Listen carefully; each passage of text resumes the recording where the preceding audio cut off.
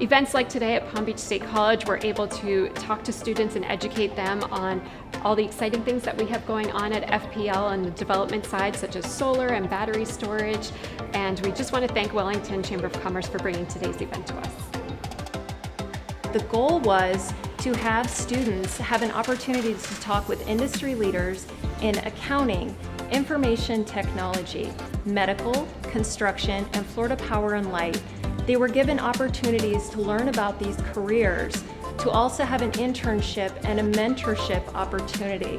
We couldn't be more excited to work with the students at Palm Beach State College and to have this partnership between the Wellington Chamber of Commerce and the college.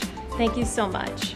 At FPL, we're committed to working with the communities we serve, and these partnerships are, with our community partners are truly important to FPL. So working with organizations such as Palm Beach State College and the Wellington Chamber of Commerce, it truly helps us make Florida an even better place to live, work, and raise a family.